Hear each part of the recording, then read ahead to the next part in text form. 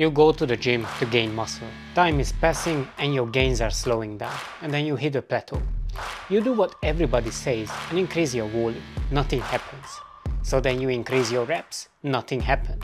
Try intensifiers like drop set. Nothing happens. Add more frequency. Nothing happens. But what if the answer was from of you the whole time? The reason you don't improve anymore is because you train like a bitch. For a long time, experts said that leave free in the tank and it's going to be the same as going to failure. But this is wrong. And you don't even need to be a scientist to see the difference. Look at me going for RIR free. If I stop here, it was nothing. It was child's play. If I go to RIR1, I'm more or less bleeding from my pores. But guess what?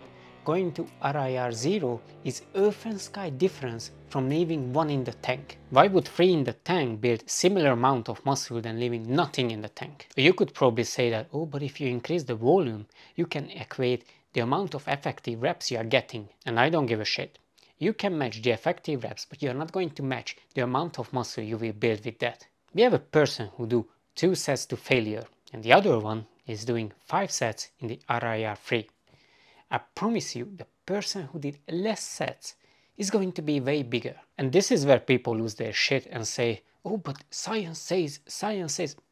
Look, we both know that you never read a single science article in your life. And there is nothing wrong with that. Your only goal is to get jacked. But you wouldn't believe how many times experts misread and misrepresent science and science literature. And it is not uncommon. But you know what? Let's nerd out. There is this sexy meta regression that you can download read it through, but they just check the proximity to failure between strength and hypertrophy. And for strength, it seems like going to failure had a negative effect on your absolute strength. But since we don't train for strength only, nobody cares. But for hypertrophy, look at this line. This is not linear.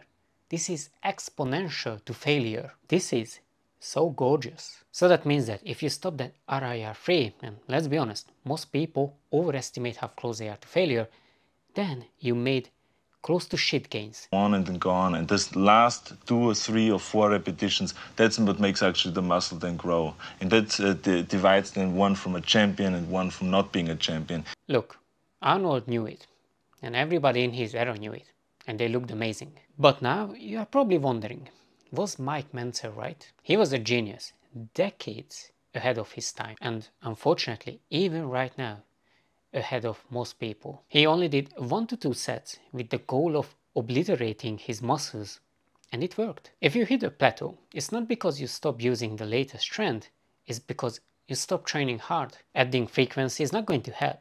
Adding endless volume is not going to help. Intensifiers are not going to help. The only thing that can help you is learning how to push your sets to failure. All of them. And you don't need to worry about overtraining. It won't happen. The amount of sets you can do to failure is going to be low, around 2 to 3 sets. And towards the end of your session, for like the last two exercises, it is only going to be 1 to 2 sets. But even then, your gains are going to skyrocket. Like, subscribe, hit the bell. Talk to you in the next one.